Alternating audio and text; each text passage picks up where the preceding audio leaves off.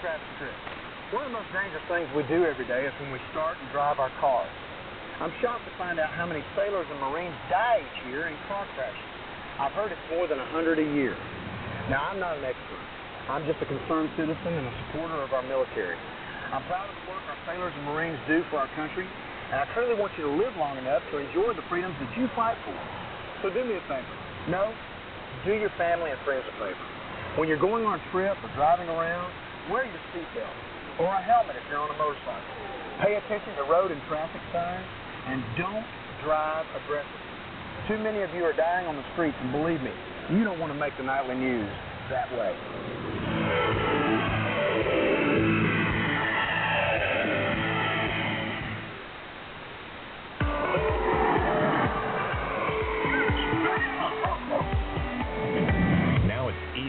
Find resources for your family's growing needs. Check out the new and improved Military One Source website. The site has a new search engine and fast links that will instantly connect you, counseling options, and more. You can even take Military One Source with you on the go. See what's new at militaryonesource.mil. And that's what's happening on the home front. Welcome to All Hands Update. I'm Petty Officer Matthew Halls with your headlines from around the fleet. The Navy is reminding sailors that when it comes to perform to serve, being proactive may be the key to ensuring your future in the Navy. PTS applications must be submitted 12 months prior to your end of active obligated service as extended date or projected rotation date in order to ensure the maximum number of looks. For more information, see your command career counselor. With states recently legalizing the recreational use of marijuana, sailors must remember the Navy has a zero tolerance drug policy, and that hasn't changed. Any sailor caught using or possessing marijuana will face the maximum punishment under the Uniform Code of Military Justice, which can include a dishonorable discharge. For more information, see MILPERSMAN 1910 TAC 146. You can read more about these stories at Navy.mil. From All Hands Update, thanks for watching. police officers from around the globe to explain how status of forces agreements affect host country laws. First up, Japan. Soffida. Uh, okay. Next up, Italy. In tutta Italia che devono obbedire alle leggi locali. Right. Let's hear from the UK. Whether you're up the junction or down the docks, you better toe the line or you'll be up in front of the chocolate. Right. So there you have it. No matter where you are, respect the laws of your host country ultimate test of power and determination returns down under when the top players in the world converge for the first major of the season. The Australian Open coverage begins January 14th on AFN Extra.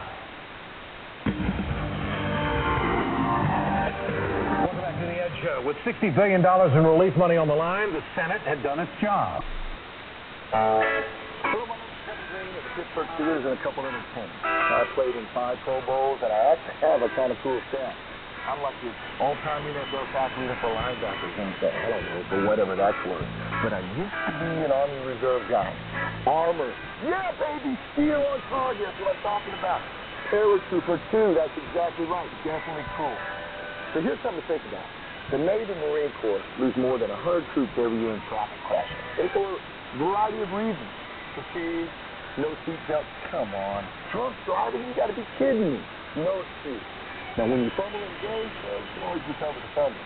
But when you fumble behind the wheel of a car, you are absolutely squid. So please, think about your family. Think about your friends. Always game plan your trip. Click the bell.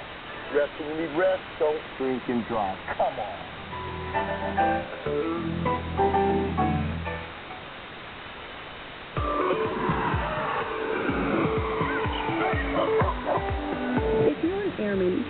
Already know about the Air Force Aid Society.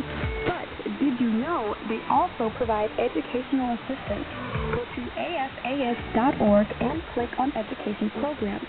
Here you can check out the grants, scholarships, and educational loan programs that you and your family could qualify for. And that's what's happening on the home front. The success of today's nuclear-powered submarines can be traced back to one man, Admiral Hyman Rickover. Rickover graduated from the Naval Academy in 1922 and completed submarine training eight years later. In 1947, Rickover became intrigued to the possibility of nuclear submarine propulsion. He directed the Naval Reactors Branch in the Bureau of Ships, helping to develop the world's first nuclear-powered submarine, USS Nautilus, commissioned in 1955. In the years that followed, Rickover directed all aspects of building and operating the nuclear fleet. After 64 years, he retired from the Navy in 1982 and died four years later. His name is memorialized in the attack submarine USS Hyman G. Rickover in Rickover Hall at the U.S. Naval Academy.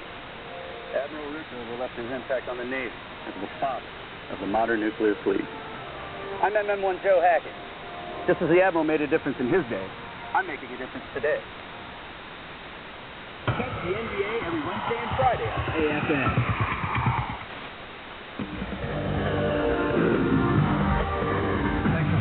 If you ride a motorcycle, you know there are risks involved, but some of them are within your control, like riding too fast. Riding when you're too tired.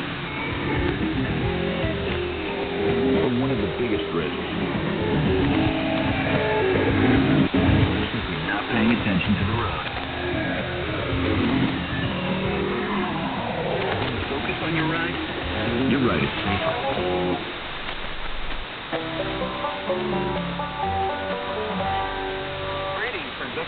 Mississippi. Greetings from Pagosa Springs, Colorado. Aloha from Haleiwa, Hawaii. I don't think the day goes by that we don't think about your gift to us, and that is the gift of freedom. And we have a very, very strong affinity for our military personnel. And we thank you for what you're doing. Please come home safe, Glenn. From Mississippi, From Colorado, from Hawaii, thanks for serving. Alcohol abuse, coupled with major life stressors or depression, can put people at high risk for suicide. Alcohol impairs the judgment and makes it difficult for them to see solutions to their problems. Alcohol can cause them to do something reckless and impulsive and make them even more prone to suicide. If you know someone who's abusing alcohol, don't keep it to yourself. Get help right away through your chain of command.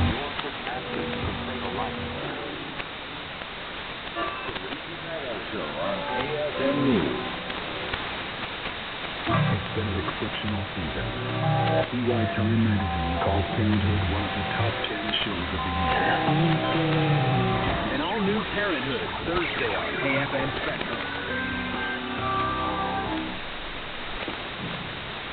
It's an important part of every sailor's life and a crucial part of the Navy's mission. Be responsible for maintaining a lifestyle that promotes good health and physical readiness. Part of that responsibility is ensuring the accuracy of your PFA data in the Physical Readiness Information Management System. Don't let incorrect data in PRIMS affect your career. Ensure the information is up to date. See your command fitness leader.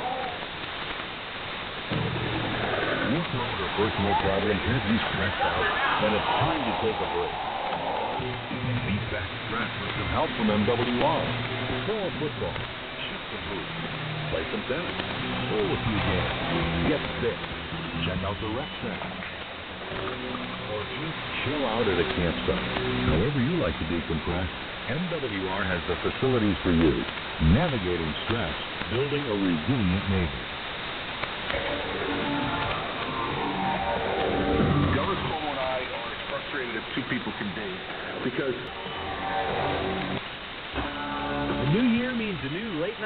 Show lineup on AFN Prime, Spectrum, and Extra. It all begins Tuesday, January 8th.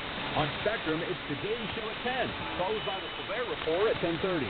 On Prime, see The Tonight Show with Jay Leno, followed by Conan, Chelsea Lately, The Late Show with David Letterman, and The Late Late Show with Craig Ferguson.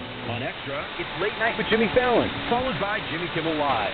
Go to tvtalk.myafn.net for more information. Where secrecy saves lives. A menace rears its ugly head. It renders our most powerful technology useless. Our most sensitive information is ripe for the picking. Unencrypted email. No one knows where that email ends up. The resistance. Shipmates, as I travel throughout the fleet, I'm frequently asked, How do I become Hawk? How do I become a chief petty officer? How do I become an effective sailor and leader? Regardless of the end goal, my response is and always will be the same. Work hard, stay out of trouble, and be a good and decent person. Aspire in all you do to achieve these standards, and it is likely success will follow you wherever you are. Thank you for your service, and I'll see you in the fleet.